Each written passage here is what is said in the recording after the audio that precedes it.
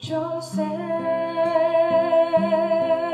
don't be afraid of what you hear, for Mary has been chosen for the son